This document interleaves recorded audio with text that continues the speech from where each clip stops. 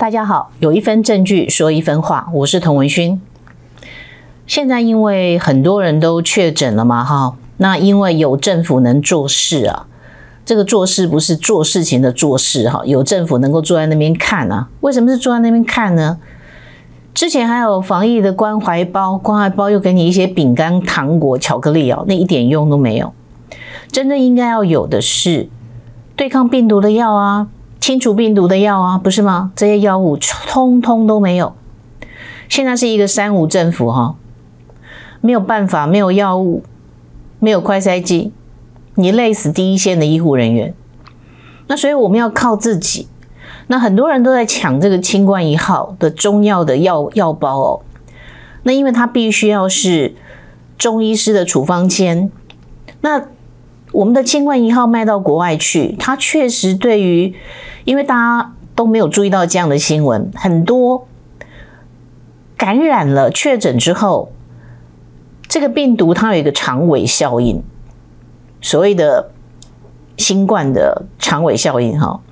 那它这个长尾效应是很多人没有注意的。你以为说你今天确诊之后你就无敌铁金刚了？不管是不是他会再确诊哦，确诊人基本上都会有新冠的长尾效应的那一些后遗症。我据一位中医师告诉我们，就是说这个后遗症几乎都没有例外的，因为你一旦就是说，即使你这个采阴性啊，快筛之后阴性，你可以解隔离了，其实你体内还是有一定的病毒的含量。而新冠病毒跟感冒不一样，流感不一样，它会攻击没有差别的攻击你全身的细胞。这是特这个病毒的特殊性，特殊性哈。那么，也就是为什么你会有很严重的肌肉酸痛啊、啊喉咙痛啊这种症状，其实都跟流感的症状是不一样的。好，那要怎么办呢？有这么多的后遗症，而且有很多是这个男性会担心的哈，他可能会有雄风不振的这个问题。所以口罩到底要戴好，有很多的老先生，我看到哈，那个中年的男性常常这样子，那个口罩戴的实际上是戴在这里，非常的不介意、不在意哦。其实如果这个知道说会影响你的这个雄风的话，你会不会把它戴好？那所以尽量不要感染，但是如果万一感染呢，你要提升自己的免疫力。目前的西药。并没有有效的可以解决新冠的长尾效应的药物，反而是中药是有的，而且是台湾的发明的这个中药的配方。那目前全台大缺货，那有一些人呢，就是厂商他为什么来不及生产呢？可能他们私底下透过类似像黑市的管道把它销售出去了。本来一帖药一包十剂，啊，泡热水就可以喝了。可以帮助真正得病的人。那有一些人呢，就是去抢购嘛，因为大家心里恐慌，去抢购，然后没事也在喝。好，中医师就告诉我们说，你没事也在喝哈，那个东西有点良性。为什么是良性呢？它就是因为要排除你体内的病毒，以及你往往会反复的这个发烧，所以你一直。喝凉性的东西，你没病；喝凉性的东西，不要把它当做保养，因为当你真正离病的时候，真正确诊的时候，它可能会降低你的免疫力。好，所以千万不要这么做哈，不要去抢购药物，要让有需要的人得到药物。所以现在的关键是这个政府，这个政府完全失能、无能的情况之下。我们还是必须要责成他们，因为所有的经费、国家的预算，对于药材的征收、控制、管控，都在他们手上，就该做的通通没有做。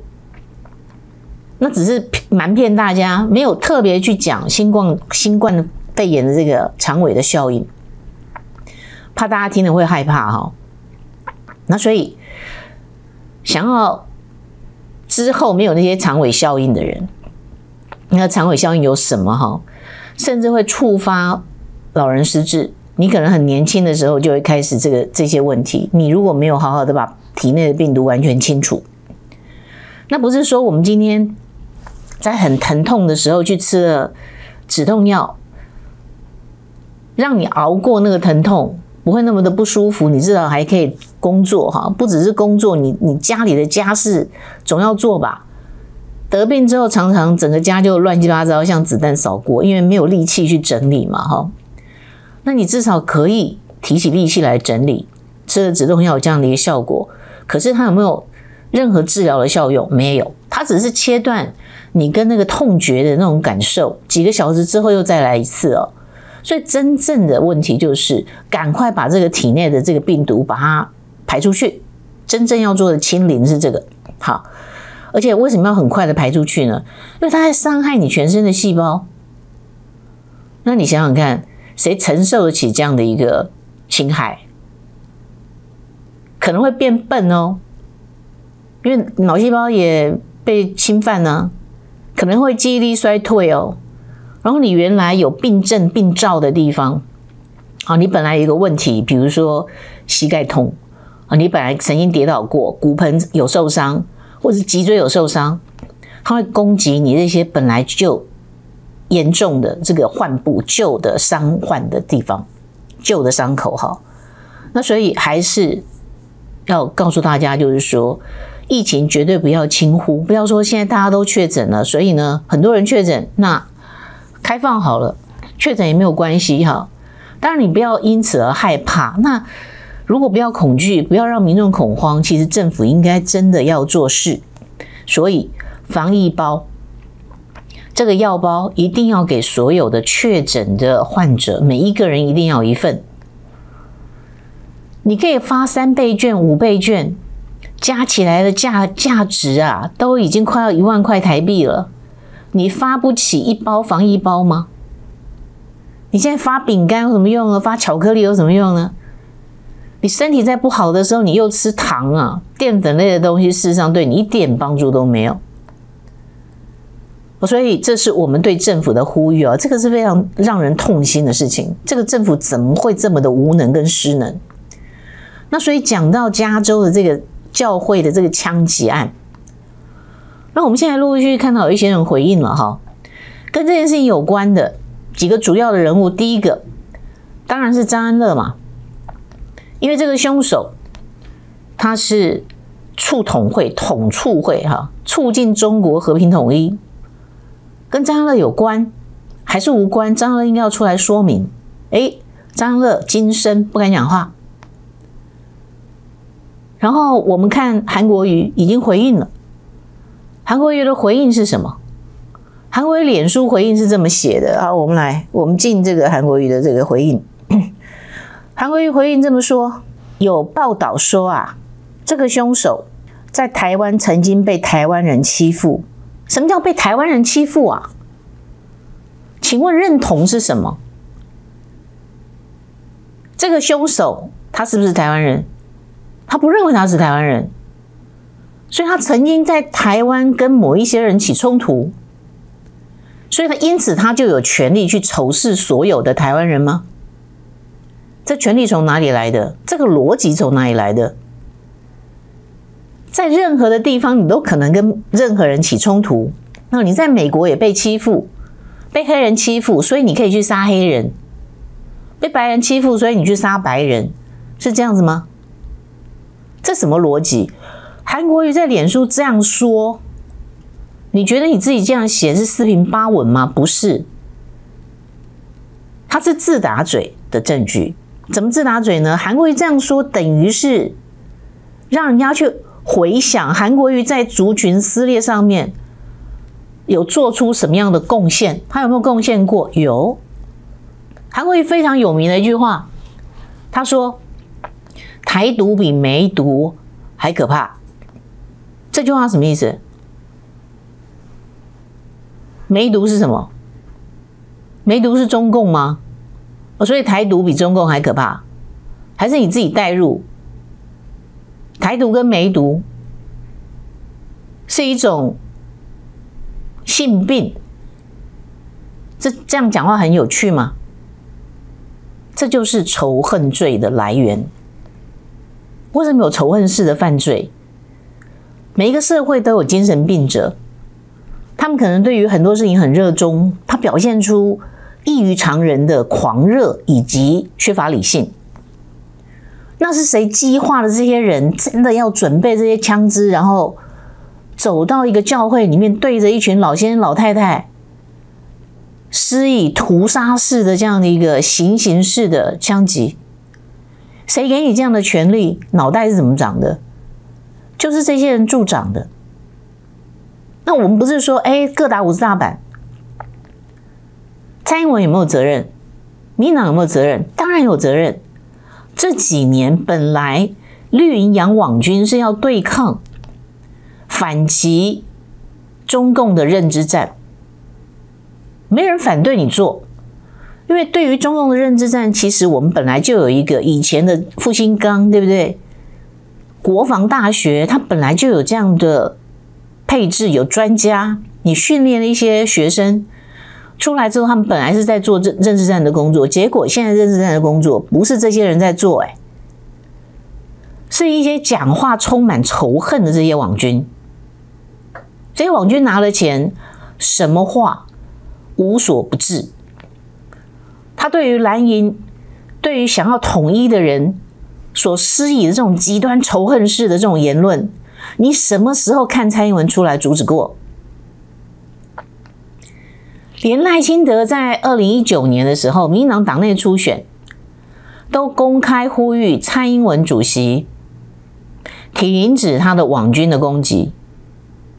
现在赖清德是副总统，网军存不存在？民党有没有花很多的国家的公帑来养网军？有。所以这个仇恨这个问题从哪里来？蓝绿黄白，这通通都有责任。所以，我们今天看族群真正的融合，绝对是一个社会永远停不了的一个工作。我们必须要人人有责。所以，我们昨天说郑医师的牺牲生命。它呈现一种人人为我，我为人人的这种牺牲自我的这种精神。他是个英雄，很不幸的在这个乱世，所以他的事业、他的家庭，一切在那一天画下休止符。这是一个不幸，甚至对于这个凶手本身，这种行为是一个懦夫的行为，可是也是非常可悲的。是什么给他洗脑，脑袋里面会变成这个样子？他毁了别人，毁了自己，成就了什么？会让更多人相信两岸可以和平统一吗？他们认为的两岸，我们认为的一边一国，我们认为人生而自由，没有人可以蹲在你的头上指挥你，蹲在你的头上凌虐你。告诉你，你该往东走还是往西走，连你的思想他都要钳制，都要管理。谁愿意受到集权的统治？人生而自由这件事情是要去实践的，所以去追逐自由，去追求自由，这是每一个人的权利，而是而且是义务。国家应该是一个正常的国家，这是义务。蔡英文还抱着中华民国不放，那对于像韩国瑜这样的人，他的思想到底是什么？都已经出人命了，他还说，他还在这个脸书的说法里面说，啊，这个人曾经受台湾人欺负，好像正当化、合理化他的杀人的行为。你在台湾的时候被欺负，你跑到美国洛杉矶。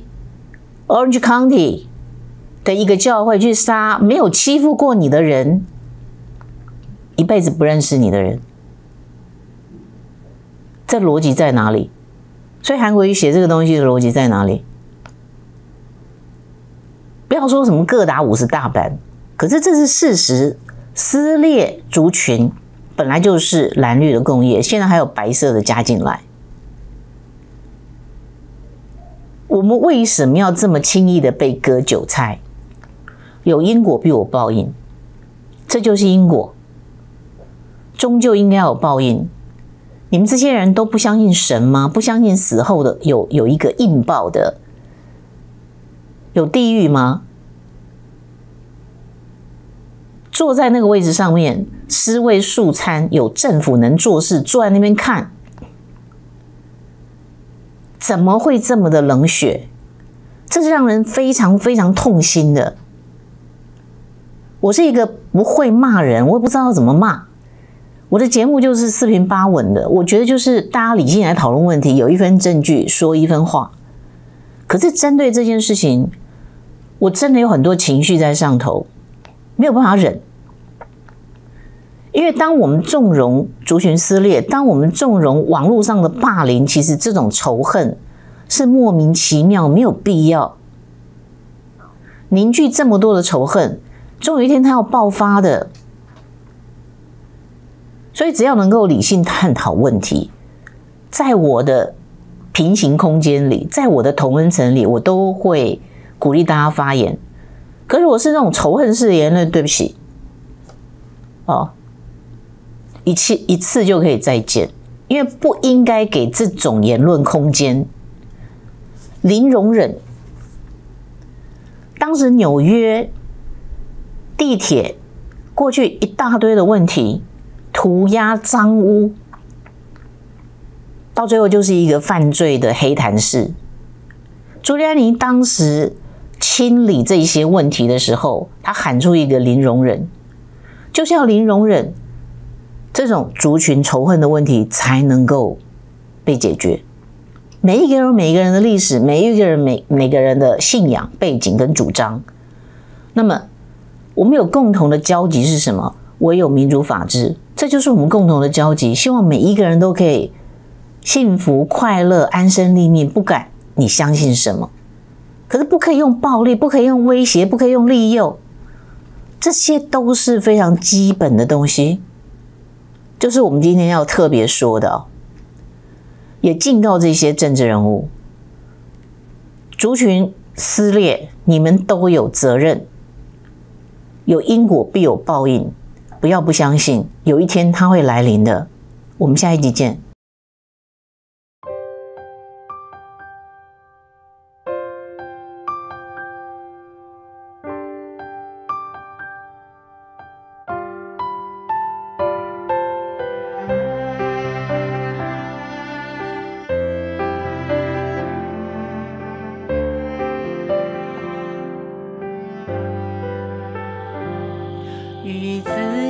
相逢，灰色的天空，偶尔飘着轻轻的风，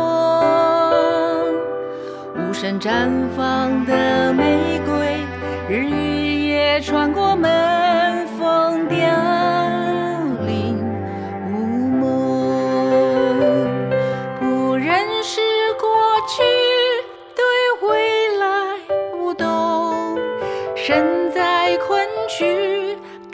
扎还是顺从？干涩的眼，很久没有泪水包容。老巷子里的书信，也早已尘封。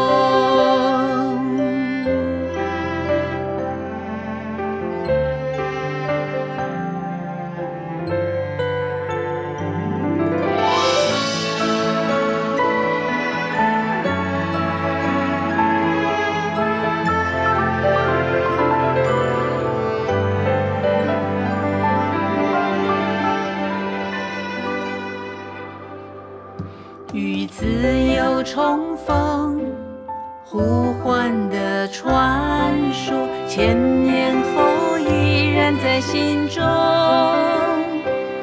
失去野心的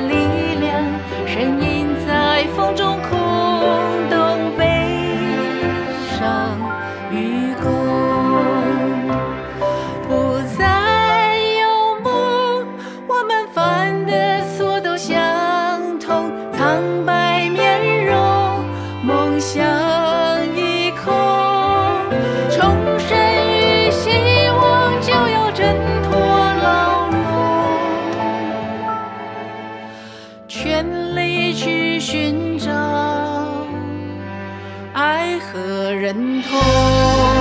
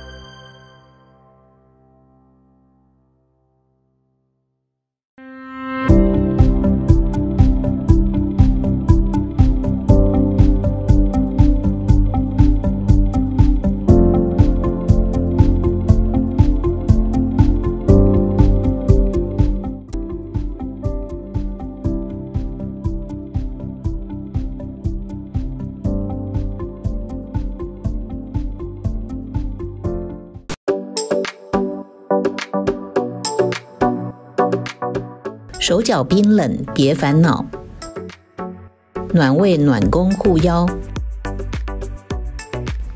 行动电源随插即用，可水洗，可拆开使用，爱用者推荐，健康首选。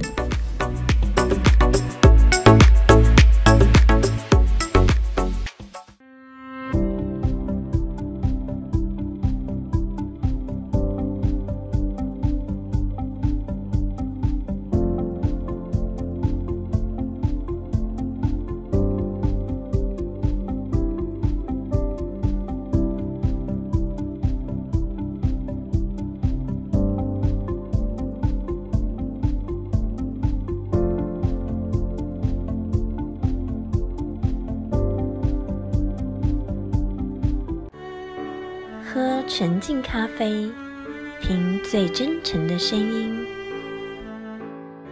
口感香醇，把人生的甘甜、酸苦完美搭配，跟人生和解，跟自己和解。纯净咖啡，让心灵纯净。支持 We 点 TW，喝好咖啡。